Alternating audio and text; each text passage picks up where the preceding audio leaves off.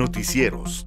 Rancherita del Aire. Con un aproximado de 2.800 vacunas para aplicar en cada sede, la mañana de este martes arrancó la aplicación de la segunda dosis de la vacuna anti-COVID-19 a personas de 50 a 59 años. Así lo indicó Asenet Elizabeth López Cázares, servidora de la Nación. Sí, efectivamente, eh, iniciamos el día de hoy la segunda etapa de, perdón, la segunda dosis de la etapa 50-59 eh, con dos puntos de vacunación. Tenemos eh, el, uh, ubicado en este lugar sección 38 y también en el Salón Suter. ¿Cuántas vacunas se tienen contempladas para esta ocasión?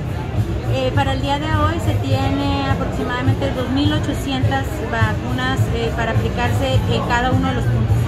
¿Están acudiendo conforme al horario que se está estableciendo del cronograma?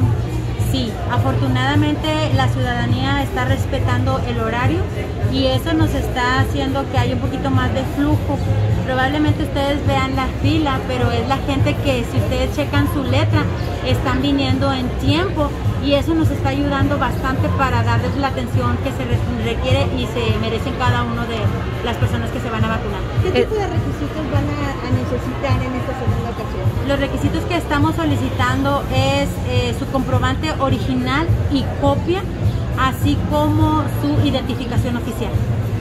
¿Están trayéndolo o si no lo traen, qué es lo que pasa? La mayoría de las personas lo traen y la que no tiene, este, aquí se nos proporcionó una copiadora donde le estamos dando la atención de sacarle la copia. Pero eso sí, obviamente les es estar dando un poquito más a las personas que no vienen preparadas. Las que vienen preparadas, pues se les da prioridad y entran. Noticieros. Rancherita del Aire.